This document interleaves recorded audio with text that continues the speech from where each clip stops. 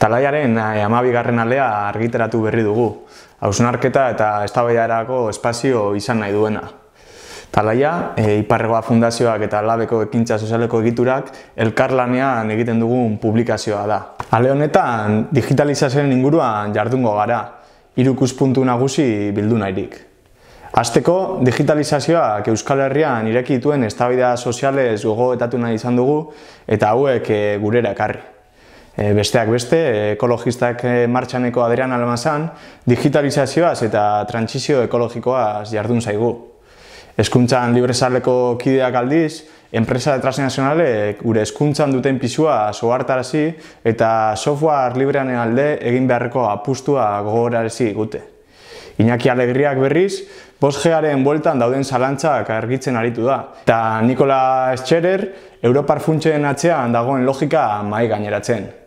Horri jarraiki Jagoba Zuluetak e, Virginia Eubanksen La automatización de la desigualdad liburua erreseñatu du, datuen atzean eskutatzen den diskriminazioa azaleratzeko. Horrekin batera, digitalizazioa gure eguneroko bizitzetan duen eragine hitz egin dugu, ahots ezberdinak elkarrezketatuz. Eta atal hau izteko, Euskal Herria Digitala manifestua publikatu dugu, Euskal Herrian digitalizazioaren bueltan eztabaida soziala irekitzea asmo duena.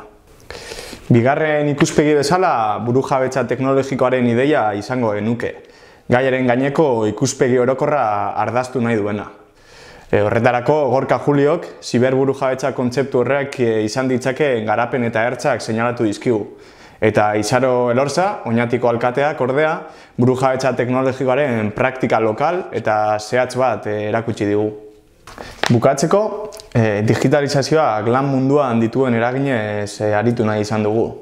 E, horri loturik, ekaitz kantzelak digitalizazioak e, klase borrokan irekitzen dituen emantzipazio aukere zausnartu du. Josea Permatx, e, Iratzar Fundaziotik, automatizazioak e, borroka politikorako irekitzen dituen aukere aritu da eta irati sinra labeko kideak, zerbitzu pribatuen sektorean, prozesu honek ekintza sindikalaren ikuspegitik sortu dituen berrikuntza eta egin beharrak eh, azaldu dizkugu. Amaitzeko, eh, ekintza sozialeko partaide diren Endika Perez eta Txefi Rokok gai guzti hauek josi eta horien aurrean sindikatuaren posizioa markatu dute. Datozen egunetan, e, lab sindikatuko egoitzetan aurkituko duzue eta gure webgunean beti bezala materiala igotzen joango gara.